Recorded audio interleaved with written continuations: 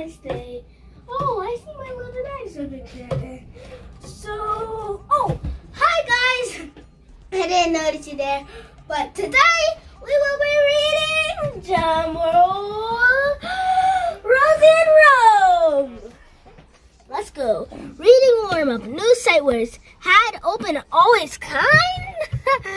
Let's go. Rosie wants to go on a trip. She chose to go to Rome. Rome, she saw a big dome. She Rosie took photos in Rome.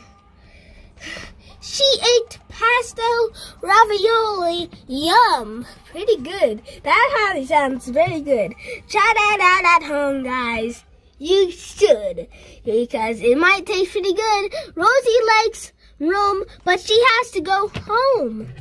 Oh, but I know you like to go. I know you, but you can always come back on a plane trip. You can always come back another day.